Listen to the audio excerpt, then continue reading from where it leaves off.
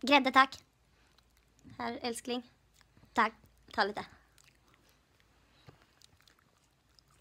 Men äter du kokosboll? Nej. Men du gör ju det. Det är visst en kokosboll. Det är inte alls en kokosboll. Jag Ta snickrar. grädde. Snickra. Struntsnack. Ja, men du. Mm. Ehm, känner till hon Linnea? Linnea Ah, Nestor? Nestor.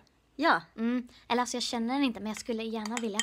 ja. Hon, hon verkar jävligt cool alltså. Hon, är, hon är fantastisk. Ja, hon är helt sjukt bra. Ja. Och snygg. Ja. Sjunger bra. Sjunger bra, dansar bra. Dansar bra. Är, är Rolig. bra bara. Är bara bra. Rolig. Hon är Rolig. fantastisk. Fantastisk. Man ska, alltså jag skulle vilja vara som Fan, henne. fyller inte hon år snart? Har du sett det på Facebook eller? Du vet ju inte vem hon är. Nej men jag har stalkat henne ett tag, typ flera år. Så jag liksom vet att hon fyller 30 nu.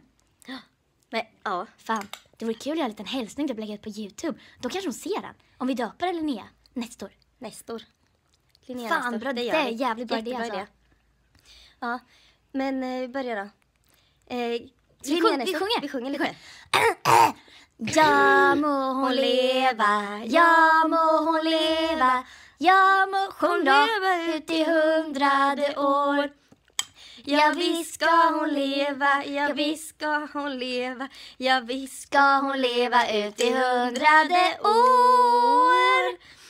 Grattis! Fan coolt om du ser här Linnea. Hoppas du hittar det här på I love you. I love Justin you. Bieber forever och Linnea Nestor. Coolt, coolt.